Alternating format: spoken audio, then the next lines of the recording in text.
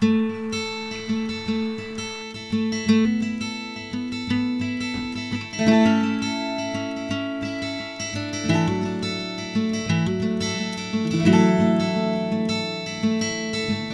I'm Rob, And I'm Gabrielle. and together we are a Birken Tree, the only producers in Scotland and the UK of birch water and lots of other birch derived products.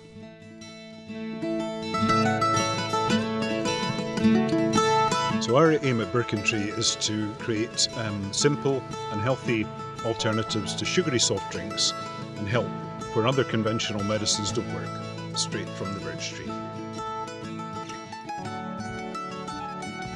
Birch water is uh, pure sap, which we collect in the springtime as the sap's rising. We tap the trees in the springtime during three weeks only, just before the leaves open. A tree can give between 5 and 10 liters a day, which is only a little portion of what the tree actually needs. The sap is really active and ferments really quickly, so we need to freeze it straight away to keep it fresh.